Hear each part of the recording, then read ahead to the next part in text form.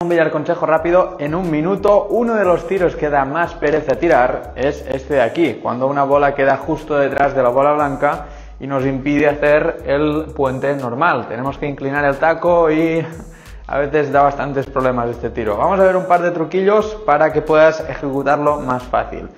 El primer punto es acercar esta mano lo más posible, todo lo que puedas a la bola esta, a esta bola, para así poder hacer un puente mejor. Si la alejas, no tenemos espacio para poner el taco. Y dos, muy importante, alinearte bien antes de subir al tiro.